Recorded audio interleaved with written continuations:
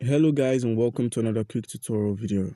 And in this short tutorial video, I'm going to be showing you how you can simply find your MetaMask private key. Now, your first step is after logging into MetaMask is to simply use one of the accounts, seeing as you're met with different accounts and each account has their own private key.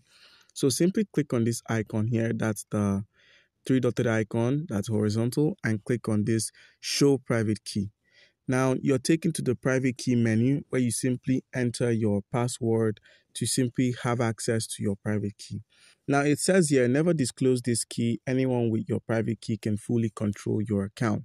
So please make sure you're careful with who you share your private key with and how you share the private key itself, seeing as data leaks and data breaches are very easy from mistakes.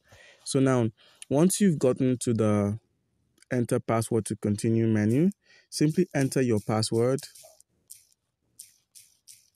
Simply enter your password and click on next and then click on hold to review private key and your private key is shown both in text and QR code formats.